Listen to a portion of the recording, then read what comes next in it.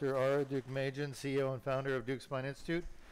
It is April 1st, and it is, we are not joking, we are doing surgery today. We're in the middle of a pandemic for coronavirus because it's April 1st, 2020. And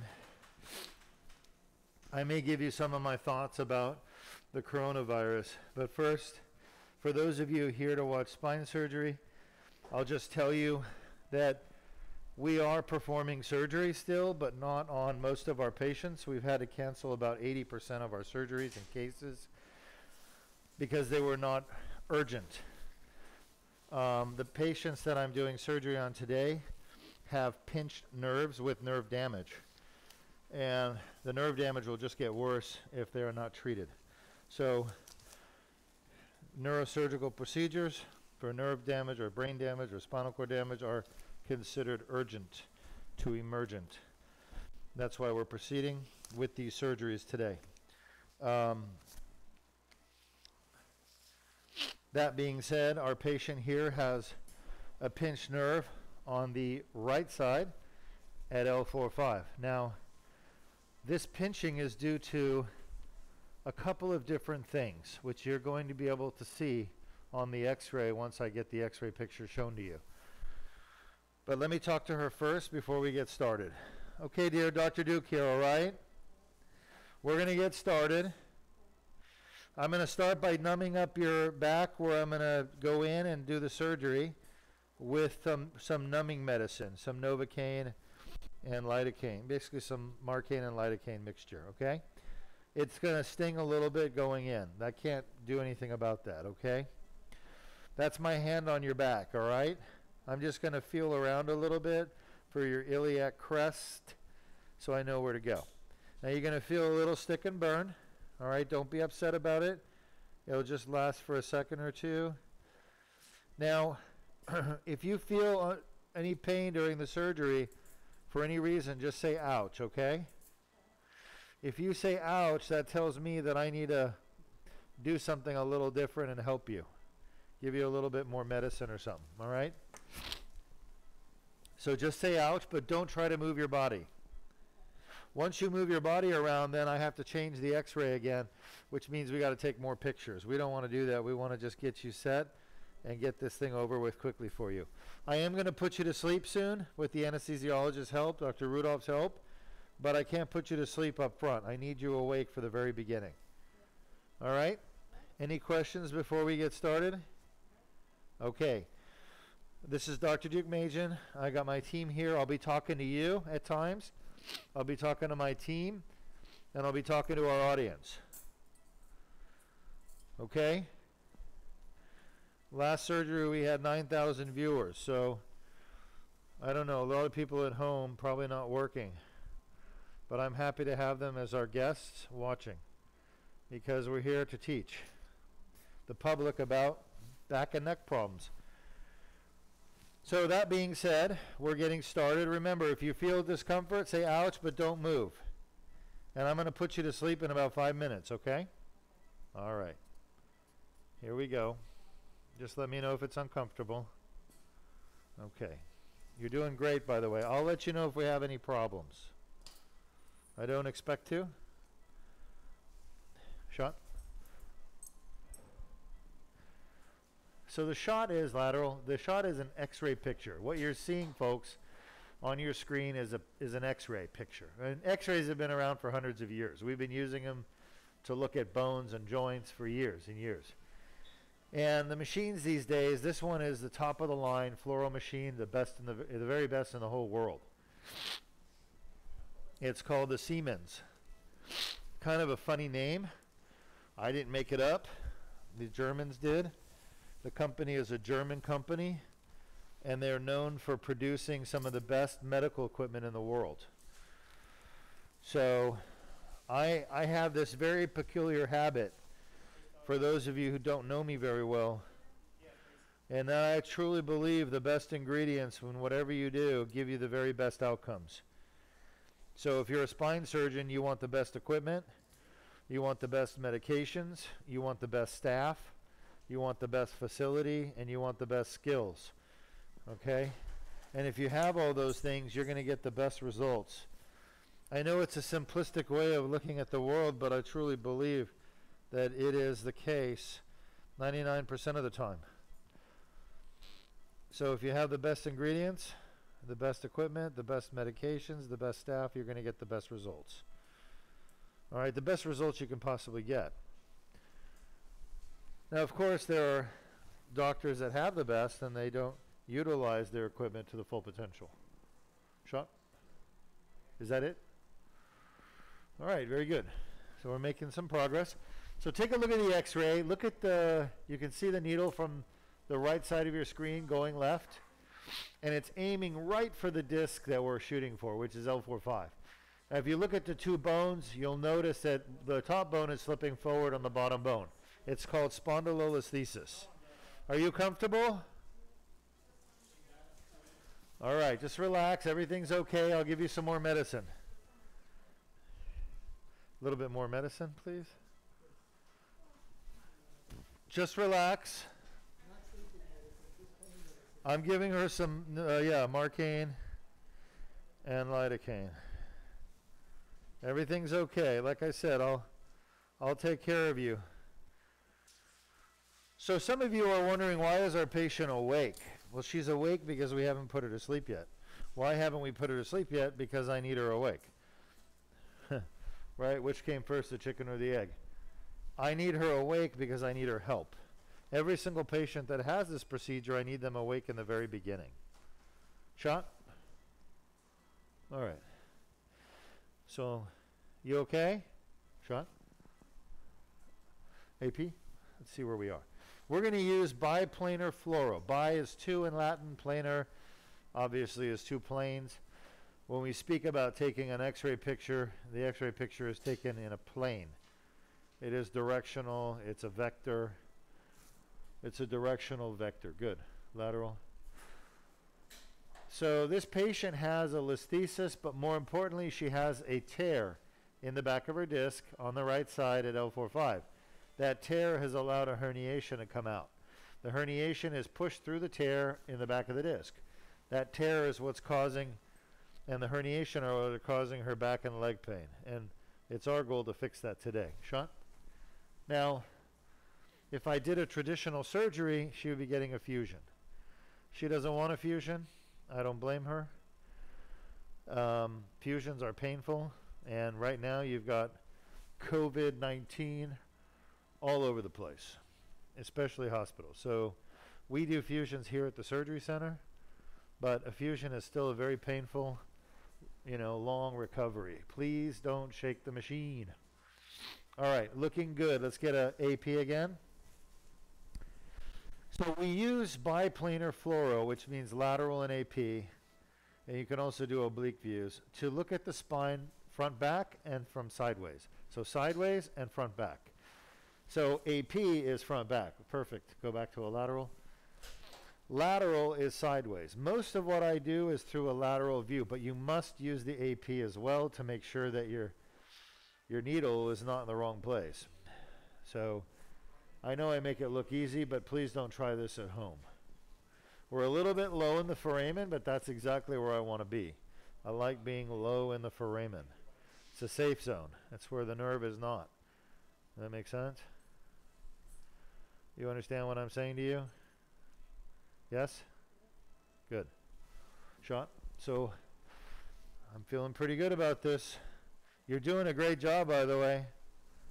You are. You're doing fantastic. You're making this look easy.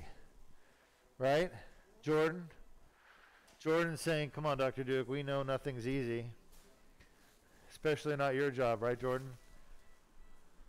But when things go well, we can have fun. We can relax. I was talking to my team earlier today and I was saying what surgeons, good surgeons, good, good surgeons, do the surgery pretty much the same way every time. And when you do that, you get the same result. Are you comfortable? Now, if your results are horrible, you don't want to do the surgery the same way every time. You want to find something to change and make it better. But once you've perfected something where you have literally the very best results you can possibly get, then you want to do it the same way. It's like making a, a cake, you know? When you find exactly the right amount of ingredients, the right type of ingredients, you bake it exactly the right way with the right oven and the right convection, whatever, or non convection, then you want to reproduce that every single time. All right. Are you comfortable? Okay. How much of your problem is back pain versus leg? 50 50, 70 30? 70 30? What'd she say? 70 30. What's 70? Your leg or your back? All right.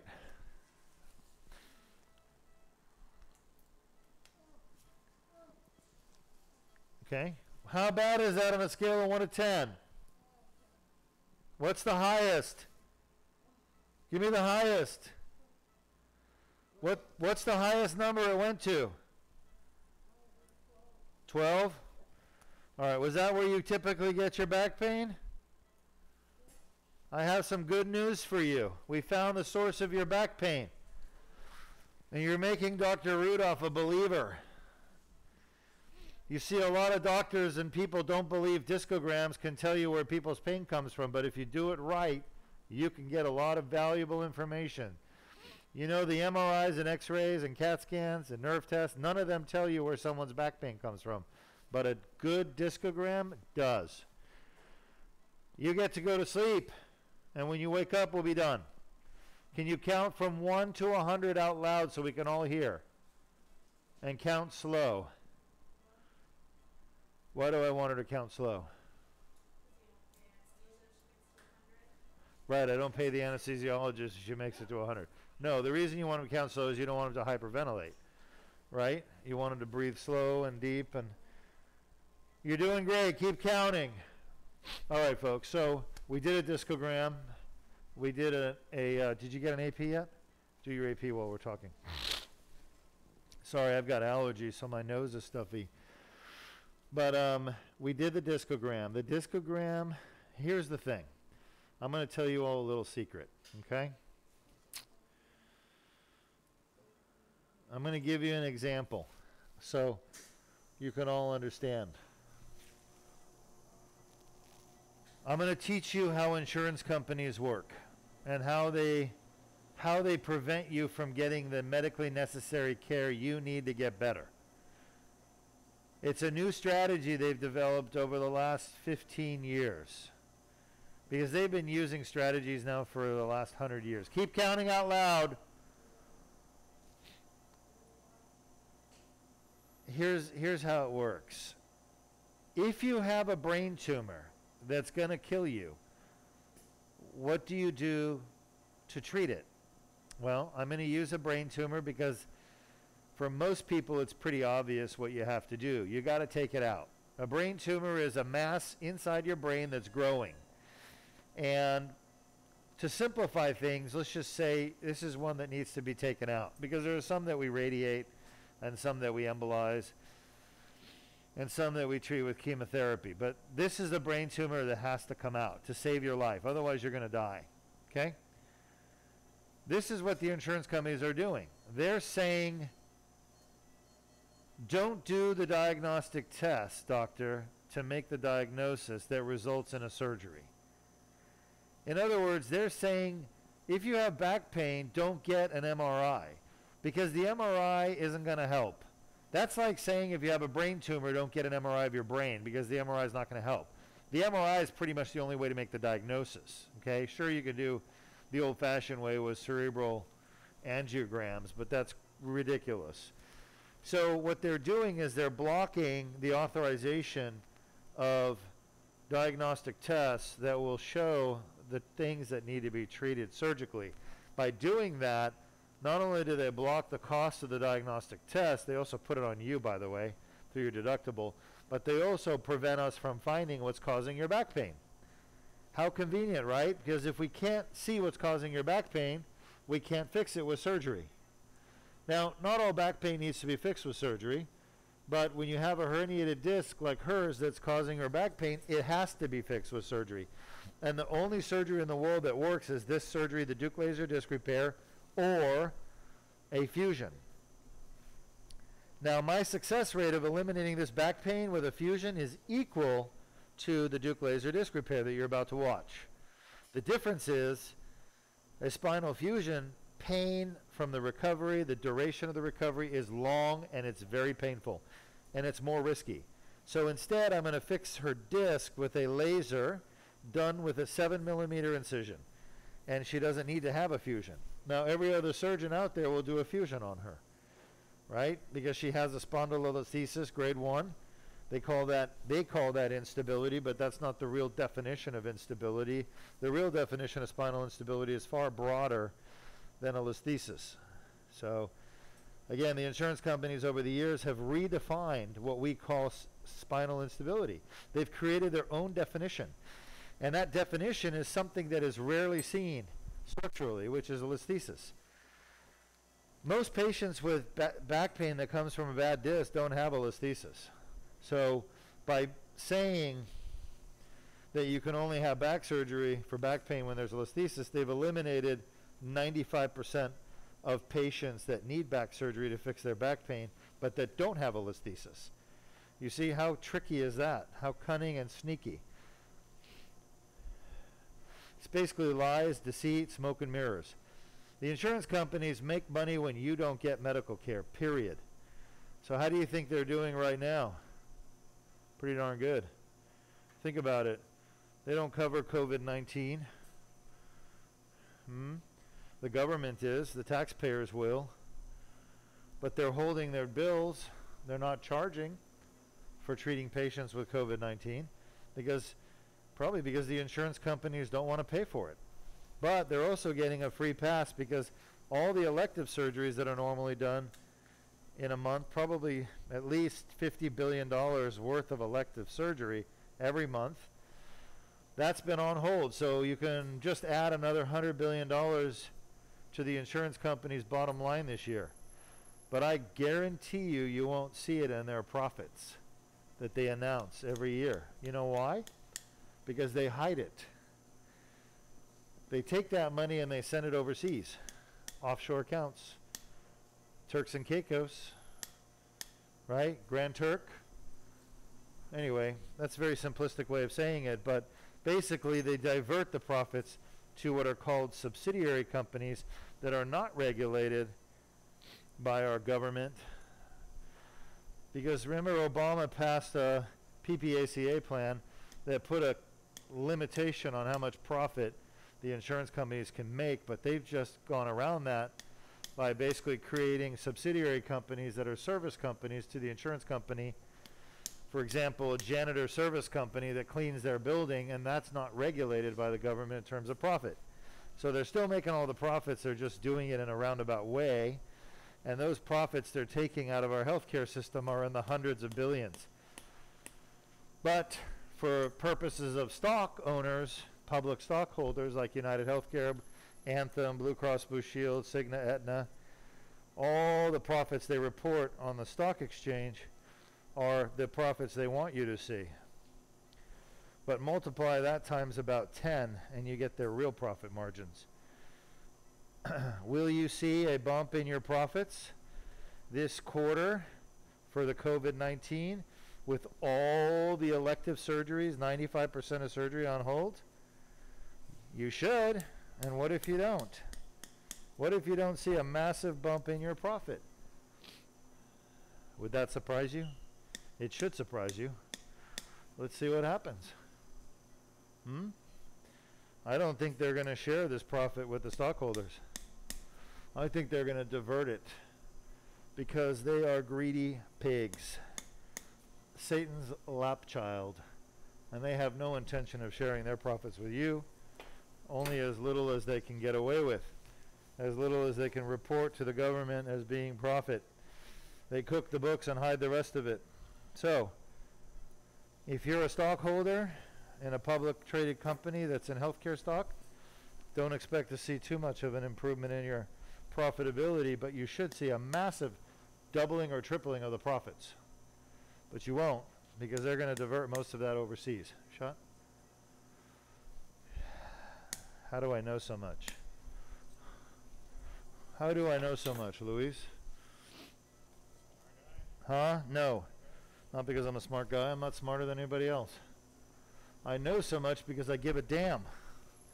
Because I'm tired of seeing people not get health care that they need because the insurance companies are keeping the damn money.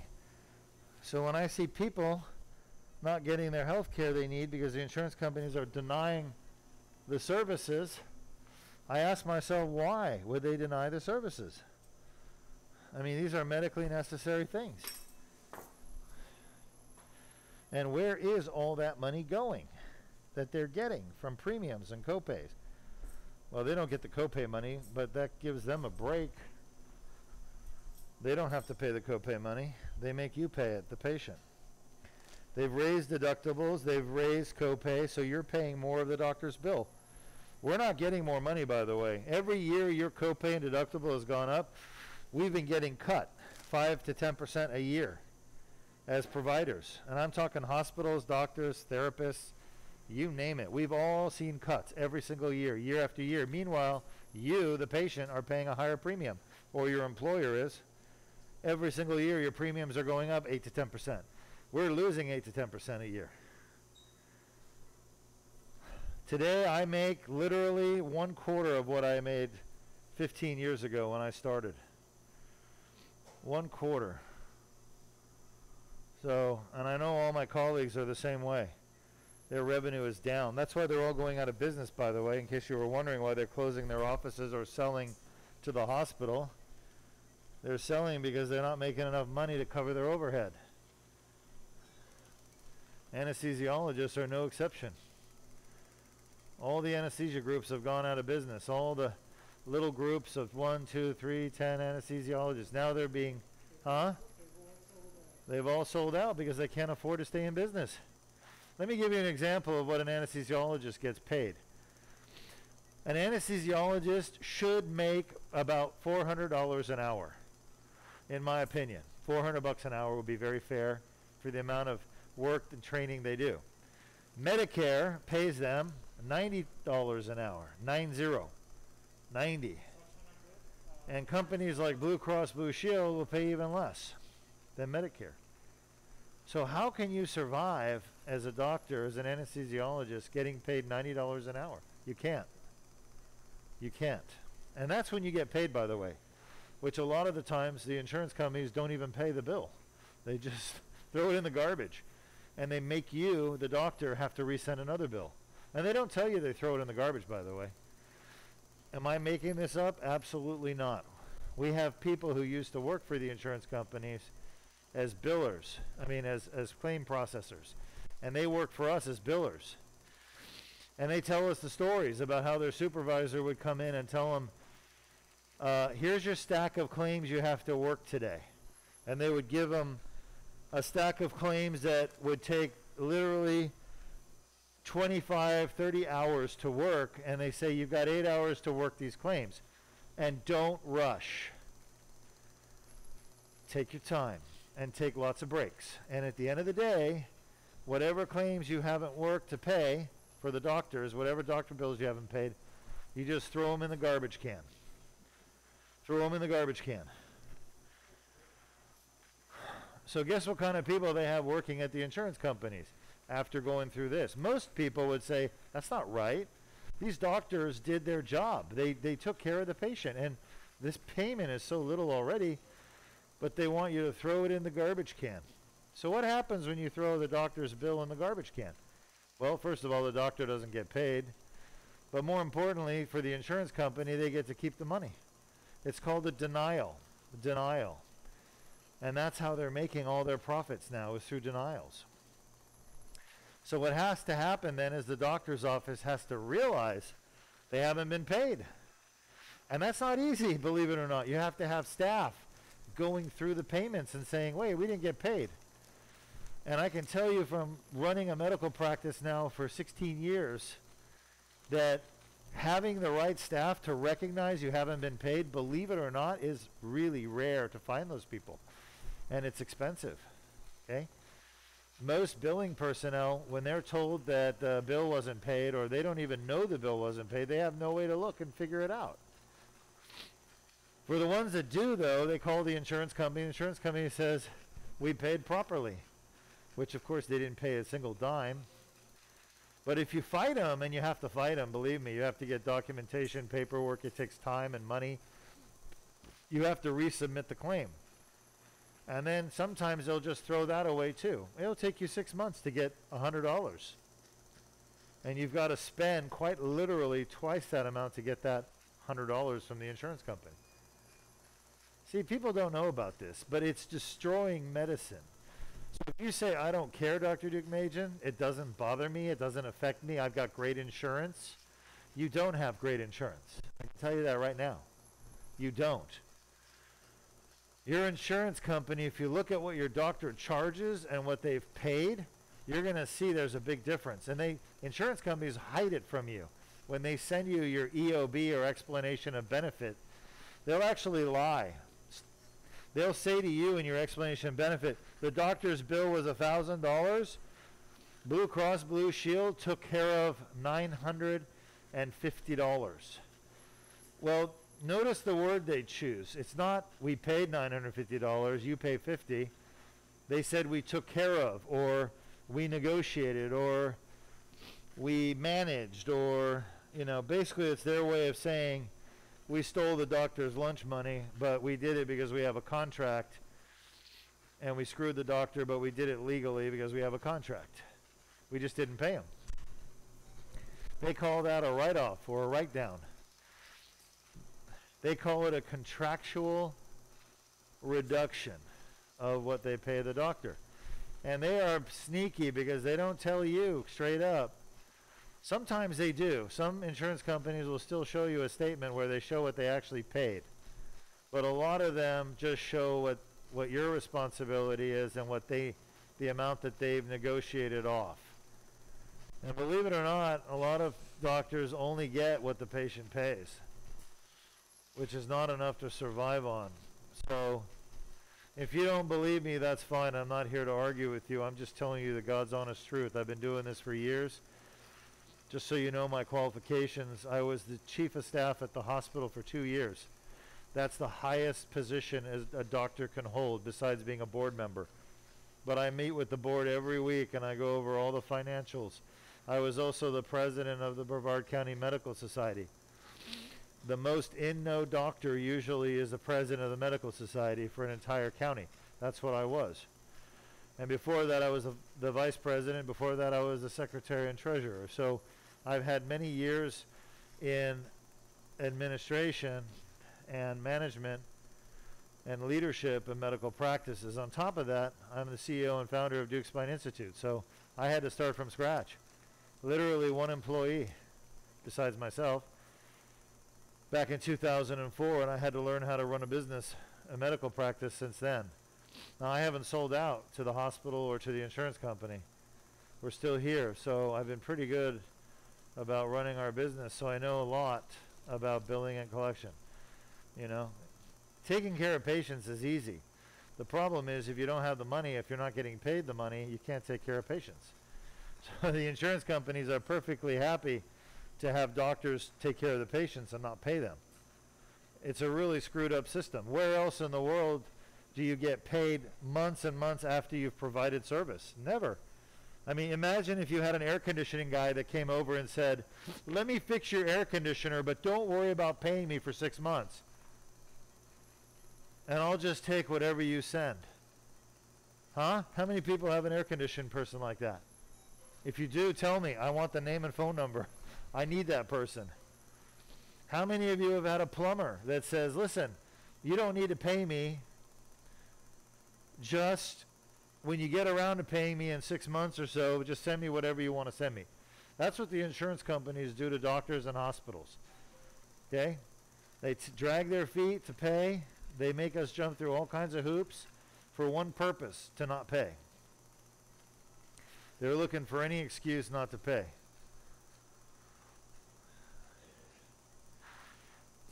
Now, Medicare. Medicare is run by private insurance companies. But they're like a wolf in sheep's clothes. They're not going to tell you, hey, I'm Blue Cross Blue Shield. They call themselves things like First Coast Services. Okay? First Coast Services. Who would ever think that that's Blue Cross Blue Shield? I wouldn't. But I know it is. I know it's a subsidiary of Blue Cross Blue Shield. And they basically administer Medicare benefits for all Medicare patients in the state of Florida, Virgin Islands, Puerto Rico, and one more. I can't remember where it is, but so this Blue Cross Blue Shield company has basically made a deal with Medicare and said, "Listen, we're going to save you money by not paying the doctors. Are you okay with that?" And they said, "Sure, as long as our name isn't, you know, we're not the ones that are held responsible. You guys are. Do whatever you got to do. Knock yourself out. Abuse the hospitals and doctors and therapists. Abuse them all. Don't pay them. We don't care. You know, we ju- we'll just say we hired you guys to manage the benefits. So Medicare gets to wash their hands because they've hired their MAC or Medicare administrator, and the Medicare administrator is the one not paying the doctors. All right. If you have questions about insurance, I'll do my best to answer them. I'm happy to talk about them, but for right now, I'll tell you what we're doing here. We're looking down a metal tube. This is like a straw, and we're at the from the inside of the straw, and we're at the bottom, right where the tip of the straw is, which happens to be inside the herniation. This is all herniation right here. The blue fiber is the laser. It's a holmium YAG laser fiber. The laser beam is a holmium YAG laser beam. Holmium YAG. What does YAG stand for? Yttrium, argon, and garnet. Okay? YAG stands for yttrium, argon, and garnet. They're basically chemical elements that produce, when energized, they produce a laser beam, a beam of energy that is so powerful and beautiful that we use it in medicine. It's very nice. It gets very hot, and the water I use is cold. Otherwise, it would be causing fires down there. All that jiggly jiggly stuff that you see going on is a combination of the movement of the irrigation, which is saline solution going down the tube and out, and the um, wave energy of the energy pulse. It's like a shock wave. Every time the laser bursts, boom, boom, boom, boom, boom, boom, boom. It's like a shock wave, like a pulse of energy. And it's shaking everything around. And I actually use that shaking energy. It's really a sound wave for those of you who want to know. It's a sound wave in the water. And it shakes the, the disc herniations loose once they've been freed up by the uh, thermal energy. We call this vaporization.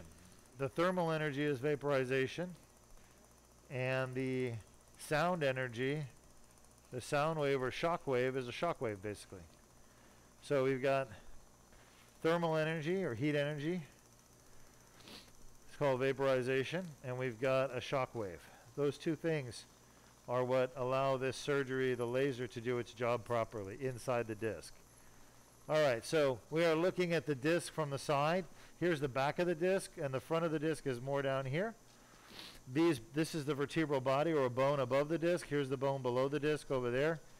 This is at 12 o'clock is like the, the back of the disc where the herniation is, okay?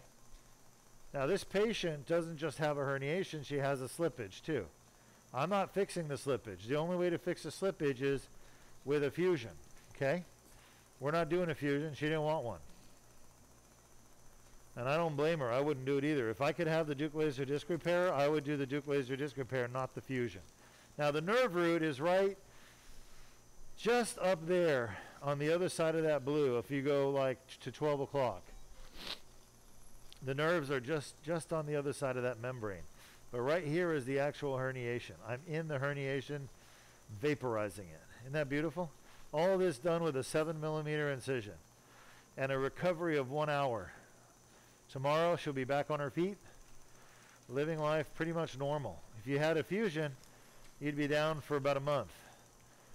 So this woman is choosing to do things with state-of-the-art Deuk laser disc repair and avoid being down for a month after surgery.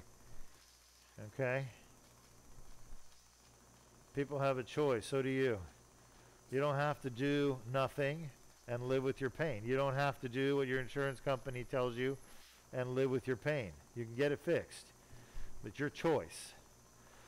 And by the way, the insurance companies are going to keep not paying for all your medical care as long as you let them not pay. Huh. So who do you have to blame? You can't blame the insurance companies. You got to blame yourself for not doing anything about it. Let me tell you my first time I ever learned about just how evil insurance companies are. I was a, uh, an undergraduate student at University of California, San Diego, UCSD. It's one of the top UC schools in California. I was valedictorian in my high school class. I got into UCSD. I was very happy. It was my dream school. I went to UCSD and I loved it. Okay, but I figured out after I graduated, I went to med school at USC in Los Angeles, University of Southern California, right? And I'm in USC. I finished my first year of med school, and I'm pretty much valedictorian for the first year, highest grades. But I also figured out I wanted to be a, a neurosurgeon, brain surgeon. By the way, I didn't know that brain surgeons did spine surgery back then. I got five minutes or less, okay, doctor? Five minutes. So I do neuroanatomy the first year, and I fall in love with the nervous system during the at the end of the first year of med school. Now you have a break between the first and second year of med school, summer break. It's the only time you get a break. So everyone says, "Oh, you ought to do research. You ought to do research during the summer. Don't waste your summer. Do research if you want to if you want to be successful and get into a good neurosurgery program." So I did research at UCSD. See, I had a girlfriend at the time. Sorry, guys. And um, my girlfriend was in San Diego, so I got a job in a lab with a neurosurgeon. His name was Lou Cornacchia. And Lou is a neurosurgery neurosurgeon resident training there. Now, the chairman of neurosurgery is a guy named Tom Marshall. And Dr. Marshall was the chairman of neurosurgery, but he was also the head, like the medical director for their insurance company, for Kaiser, I think it was. So he made decisions about whether or not people got medical care. So one day I go to the lab to work with Dr. Cornacchia, who was my boss, and he and I, he was really unhappy. And I said, "What's wrong, Lou?" And he said, "I just heard that my best friend, who's a neurosurgery resident here, his wife has lymphoma. She's going to die unless she gets a bone marrow transplant. And it was just denied. So she's going to die. And I said, well, why did they deny it? And he said, it was denied because they said with the bone marrow transplant, she only had about a 25% chance of surviving and making it through. And I said, well, it's pretty obvious to me that 25% is a lot better than 0%. So why don't they approve it?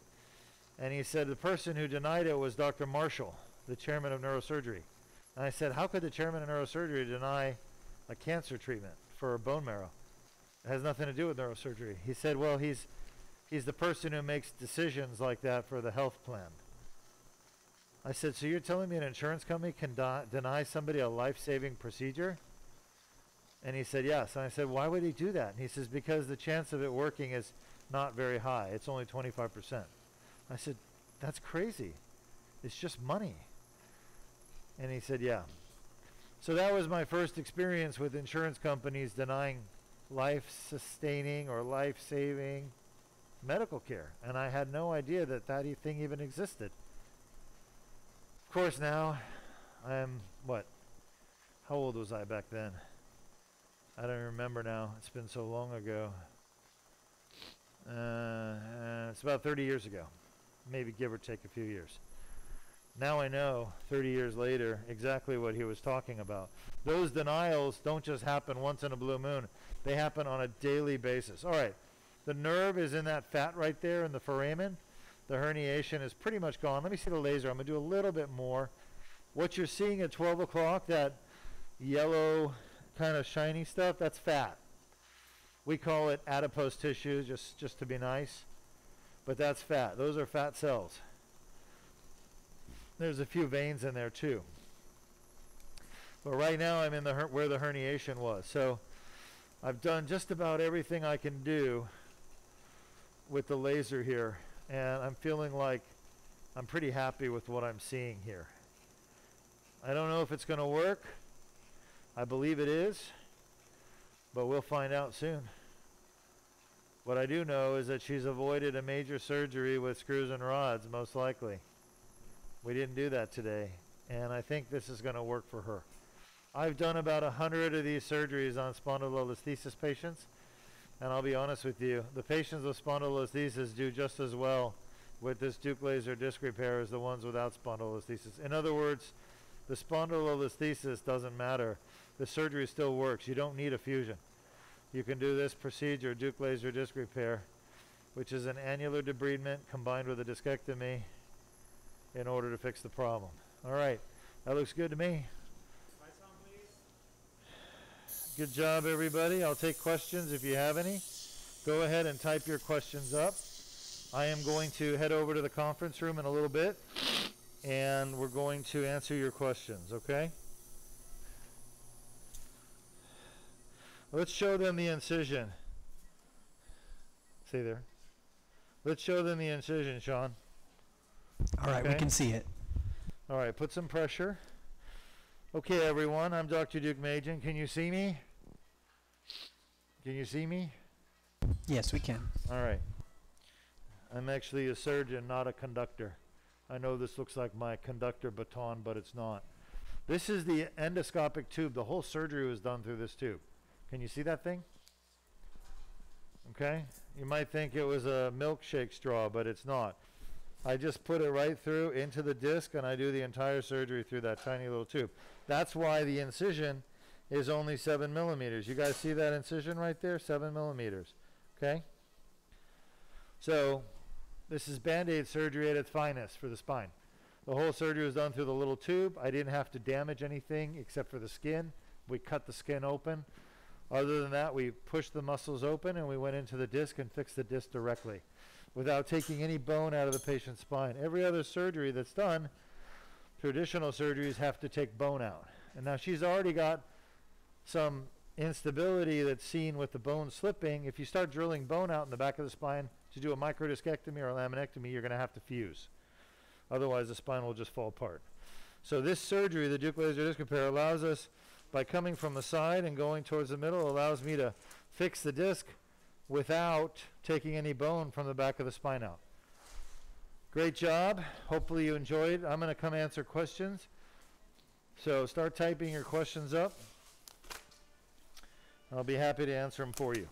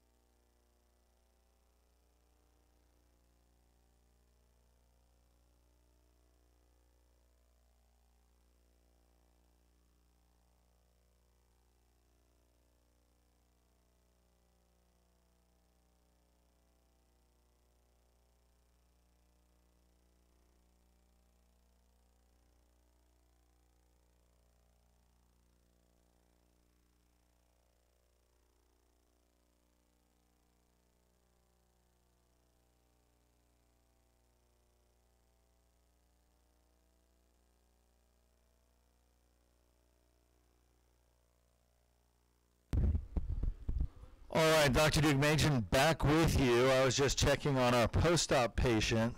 That's the one who had the surgery before this lady. For those of you who watched the first surgery be done, not the one we canceled, the, I guess it would be second surgery, but the first one that was actually completed is the one before this one. She had two levels done, L45, L5S1. She came to me with a drop foot and numbness in her leg on the right side and a drop foot. Drop foot means patients have trouble cocking their foot up. In other words, they're walking along and instead of picking their foot up to take a step, they actually drag it because they don't have the strength in the muscle. The muscle specifically is called the tibialis anterior, and that muscle cannot cock the foot up. Um, the other is the extensor hallucis longus. It's a muscle that goes to the toe. They're, they're innervated by L4 and L5 pretty much, which are the nerve roots that we worked on today. Anyway, I just saw the patient. She's ready to go home.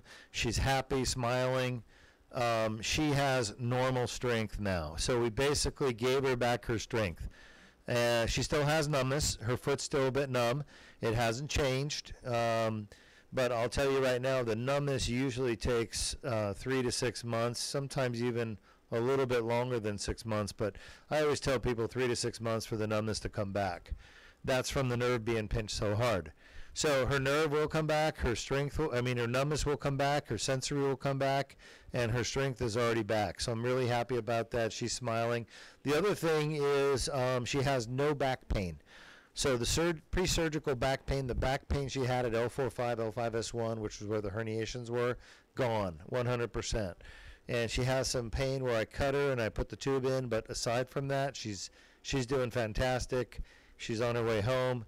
We were having a little chuckle back there because I ride horses, she rides horses, and I went to Mexico about a month ago. I was riding with my wife and kids in uh, Cabo San Lucas, and um, for the first time ever, I got on a horse and I rode it. And about about an hour later, oh my God, my hips were killing me. I was in so much pain, and every time the horse took a, a step, I was just in agonizing hip pain. And I remember thinking to myself, this saddle um, feels like it's pushing me forward, like down towards the sh- the horse's shoulders, and I just could not like sit properly on it. And I thought to myself, this saddle is probably the problem because I've ridden horses over a hundred times and uh, I've never had that problem before. So I thought either I'm getting old and my hips are hurting me, or there's something wrong with the saddle. Well, it turned out that there was something wrong with the saddle. So she was giving me some advice on which saddle to to make sure I use next time, a balanced saddle. So anyway, we were kind of chuckling about that, but I understand that we do have a question from the audience. So I'm going to hand this back to Sean. He's going to pose the question to me. I'll answer it. Uh, if you have questions, feel free to type them up. If you have comments, feel free to type them up. Again, I'm Dr. Ara Majan. I'm the CEO and founder of Deuk Spine Institute. It is April 1st, 2020. And I uh, appreciate the fact none of you are cracking any April Fool's jokes. It's a pretty serious time right now across the world with this coronavirus outbreak that's going on. And I hope everyone that you know and care about is safe and um, remains that way. Okay, so here's Sean with this with the question. All right, our first question comes from a viewer who asks Do you recommend any specific sleeping position for patients who just got out of surgery? My friends recommended that I get a recliner and sleep in it because it's better on your back than laying flat on a bed. What are your thoughts? Well, first of all, um, thank you for asking the question. It's a really good question. So, one of our um, viewers has had back surgery and the was asking about what's the best way to lay in bed. Well, that's a great question. So here's here's the first thing I'm thinking about is your incision. Where did they cut you? Did they cut you in the middle of your back? And did they cut you on the flank? Did they cut you in your belly? Um, where they went into your body to get to your spine matters. If uh, you have an incision in your lower back that's in the middle of your back, then it's really best not to lay on your incision. You have to stay off of it. What I tell all my patients that have incisions straight down the middle of their back is do not lay on it at home. go home and keep it up in the air. And the way you do that is you kind of lay to your side and you have someone put a pillow under your shoulders and put a second pillow under your buttocks or hips. That way you stay kind of cantered off to the one side. Then you can rotate every couple of hours side to side. All right? But do not put pressure on your incision. If you've just had surgery and you have a surgical incision, don't lay on it, don't put pressure on it. See, the thing about pressure is that it pushes the blood away from that area of your body that you have pressure on it. That's why people get bed sores. Maybe you've seen somebody with a bed sore. It's a part of the body where they laid on that skin for too long, and that has caused the skin and the muscle on that spot to die because it didn't get enough blood flow. If you take blood flow away from your body organs, you're going to die. That body organ is going to die. You take blood flow away from the brain for five minutes, it's dead. You got a stroke. You take blood flow away from the heart for five minutes, boom, heart attack. You take blood flow away from the kidney for about 10 minutes, your kidney's going to, part of your kidney is going to die, okay? It's called a renal infarct. So every every single tissue in your body has a different need for perfusion. The retina, five minutes, gone.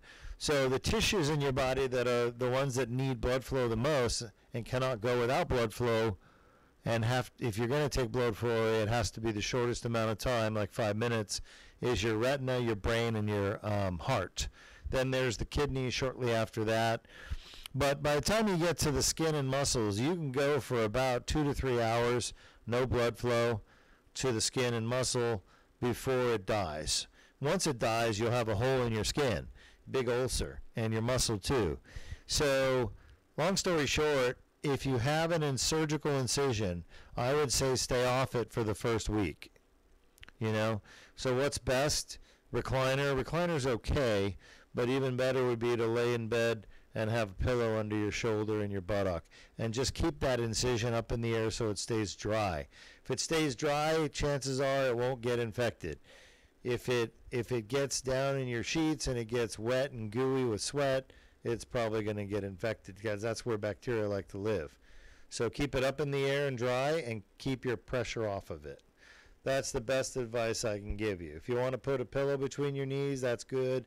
Put put a pillow uh, underneath the knees to keep them bent. Hips flexed, that's probably good too. But the most important thing is don't let it get hot and sweaty and gooey, and then don't lay on it. All right, that's my best advice. Well, I hope you have enjoyed the surgery and the question and answer session. Again, I'm Dr. Ara Deukmedjian. I've got Sean here with me. He's with Patient Services. Deuk Spine Institute has an app. We're one of the only spine centers in the world with our own app, and it's a really good app. You can get it on your iPhone or on your Android phone, and it's free. We don't charge for it. You can download it free. We don't do any advertising on it. We don't like sell your app to somebody else who pays us money. It's just honestly there um, to help you, the person suffering with back and neck pain. So you have information at your fingertips. Specifically, you can learn about different spine conditions, and um, you can access uh, our patient services. You can submit your MRI for a free review through the app. Again, it's the Deuk Spine Institute. Just type it in D E U K Spine Institute app. Um, also, Deuk Spine Institute has a Facebook group. It's called Spine Surgery Support Group. If you go to the Spine Surgery Support Group in Facebook and you apply for membership, I'll let you in. The main thing is we're really not a marketing and advertising Facebook group. We're there to um, share information, questions, and answers. Um, we have surgeons like me the founder of Deuk Spine, answering questions. Uh, I don't answer every question, but I try to get as many as I can. Dr. Patel, my partner, who is very experienced in interventional pain management, he answers questions. Sean, sitting next to me, answers questions. So we have a bunch of people on the team that answer questions, plus the group members answer questions. So people are allowed to pose questions and, and get answers from the group. We share information. Uh, we don't tolerate any rude behavior from anyone. Um, we don't tolerate, you know, nonsense. It's basically considered a place where people can come to learn. Uh, we'll do our best to teach, and it's a great environment, uh, community to be part of if you're a Facebook person. So, spine surgery support group, free, and um, it does require you apply, and we accept you. And if you have something to post, obviously we have to approve it, but uh, we just trying to keep it free of advertisement and and basically free of people making um, uh, false news, for lack of a better term. All right, hope you enjoyed the surgery. Like I said, the last patient we did is already on her way home. Her back pain is gone. She said she would be in tomorrow around 9:30 Eastern time. So East Coast time, 9:30. We'll probably be doing a, a video of her reco- recovering, and um, hopefully we can share that with you tomorrow. So look for that post, and hopefully the lady we just finished with will also be doing well, and we can post her video as well. Um, and we got one more surgery to go. Thanks.